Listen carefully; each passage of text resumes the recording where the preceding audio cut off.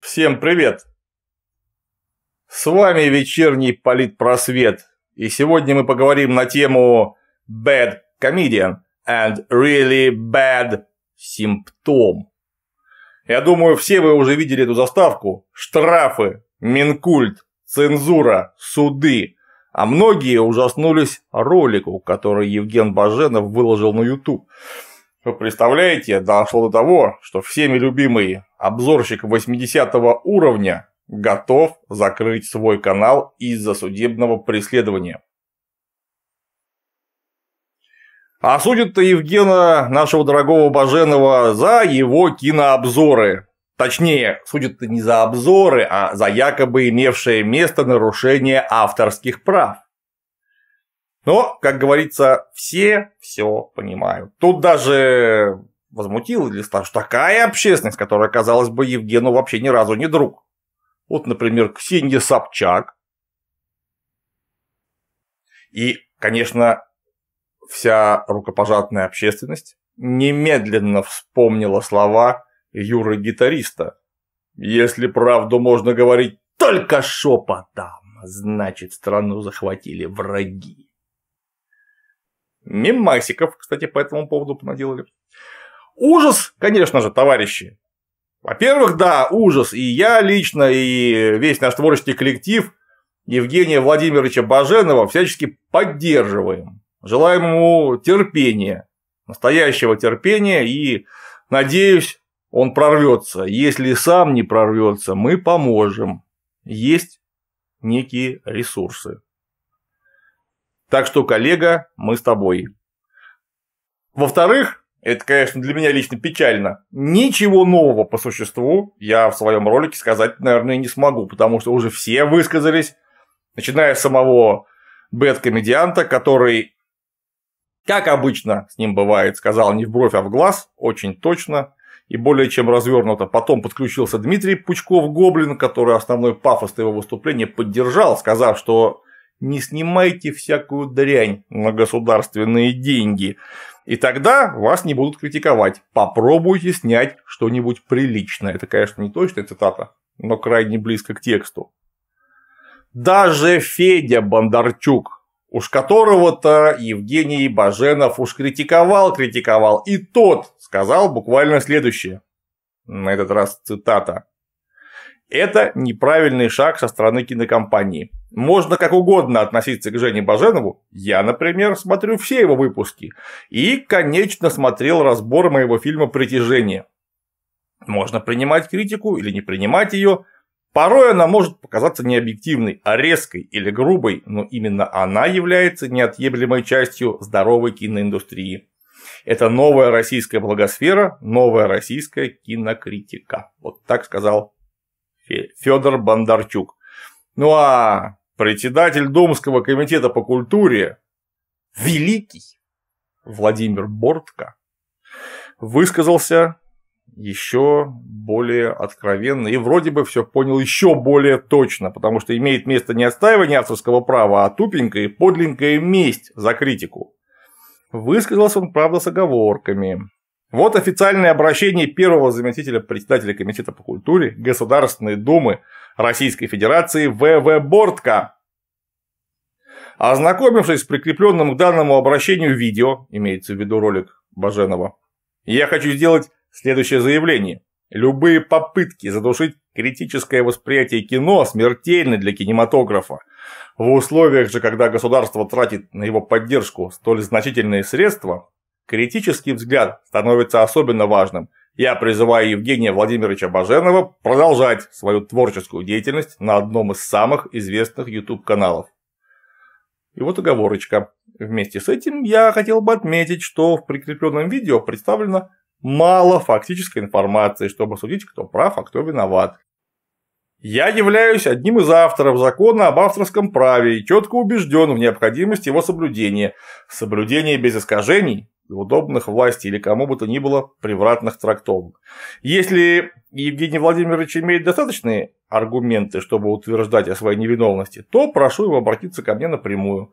Будем защищать наше гражданское право критиковать и разбирать с особой тщательностью то, на что идут государственные деньги. Словом, вот такая ситуация.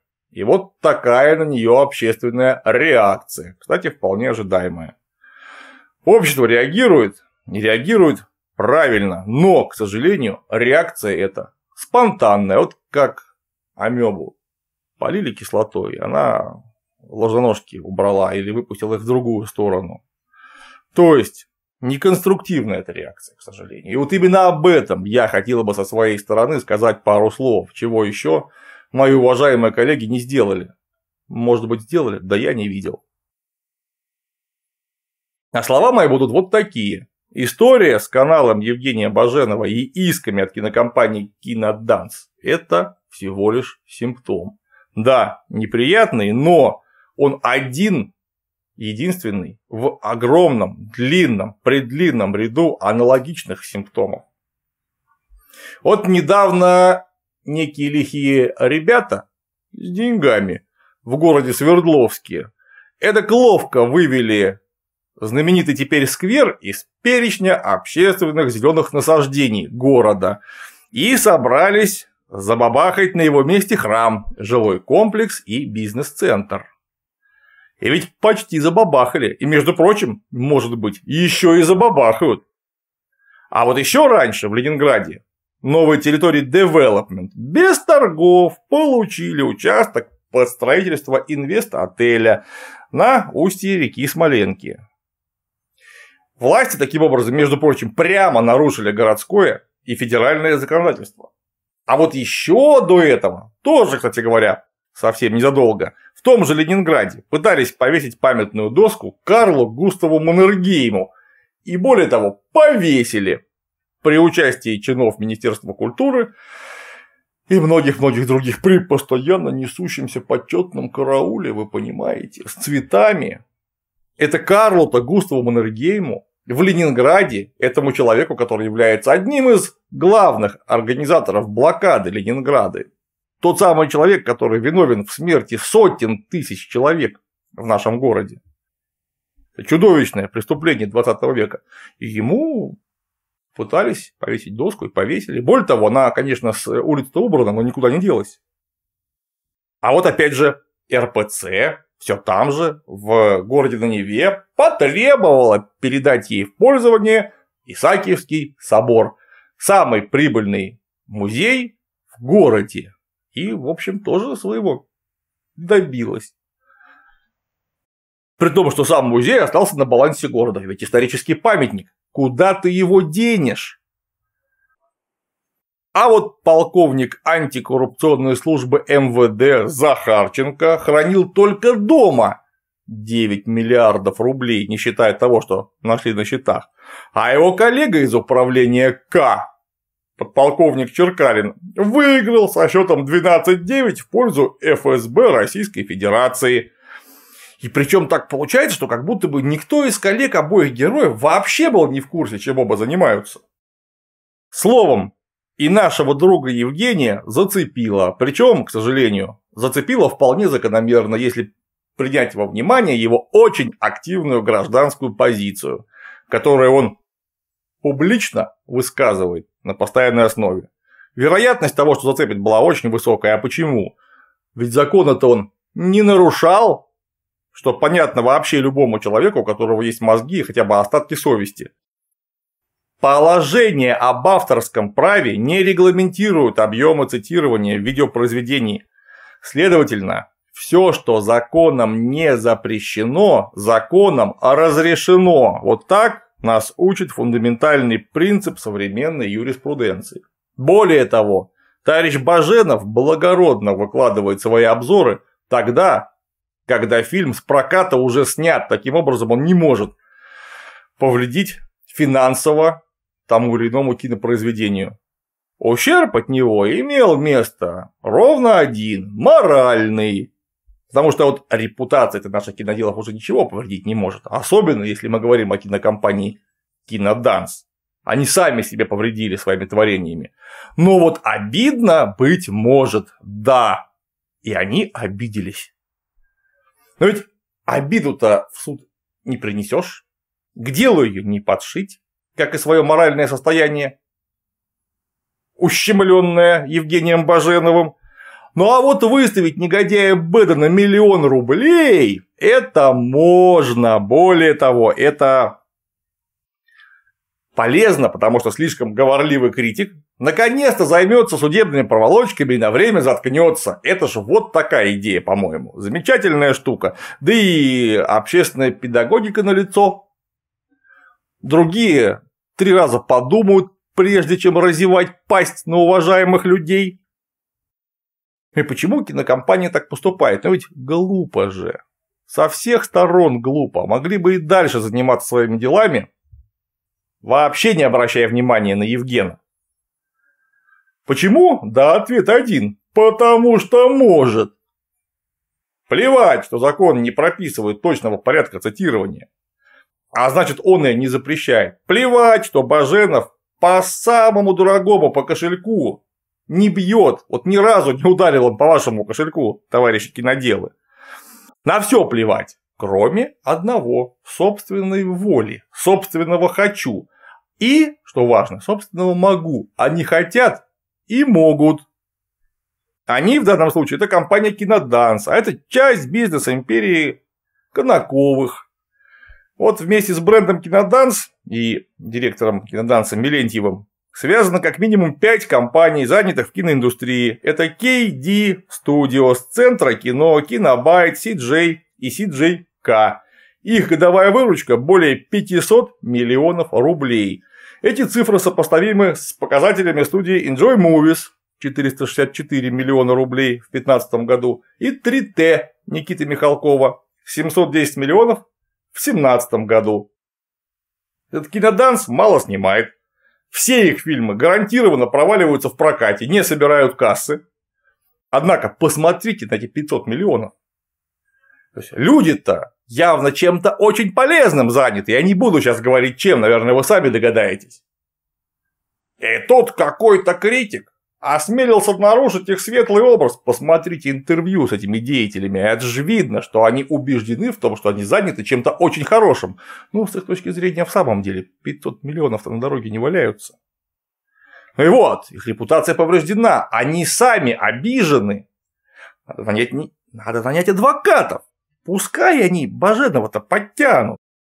Может быть, конечно, суд они не выиграют, но паренек явно в ближайшее время будет сильно занят чем-нибудь полезным. Они могут, понимаете, РПЦ может отжать у города один из самых прибыльных музеев в стране. Алтушкин и русская медная компания могут отжать у горожан сквер. Рогозин с Сурковым могут впендюрить посреди Ленинграда памятную доску убийцы ленинградцев. А полковник МВД может набрать взяток на миллиарды. А потом, кстати говоря, требовать честно уворованное вернуть на базу. Могут они. Потому что закон, вот сейчас я процитирую героя Михалкова из кинофильма «Жмурки», когда он обращался к архитектору. Да проекта бумажка, может в жопу себе ее запихать. Так вот закон – это ровно такая же бумажка, если за ним не стоит воля правящего класса. Потому что закон – это и есть воля правящего класса, возведенная в ранг обязательного. Вот что такое закон. Но, возможно, я преувеличиваю, а марксистские формулировки все сплошь устарели.